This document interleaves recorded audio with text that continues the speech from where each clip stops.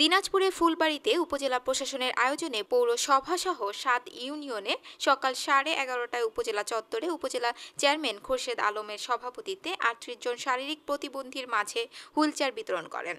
প্রধান অতিথি হিসেবে উপস্থিত ছিলেন উপজেলা নির্বাহী অফিসার আব্দুল সালাম চৌধুরী। বিশেষ অতিথি হিসেবে ছিলেন উপজেলা ভাইস চেয়ারম্যান মঞ্জুরুল কাদের, সমাজসেবা অফিসার আক্তারুজ্জামান, উপজেলা প্রকৌশলী শহীদুল ইসলাম প্রমুখ। দিনাজপুর থেকে আল মামুনের তথ্যচিত্রে পল্লী টিভি।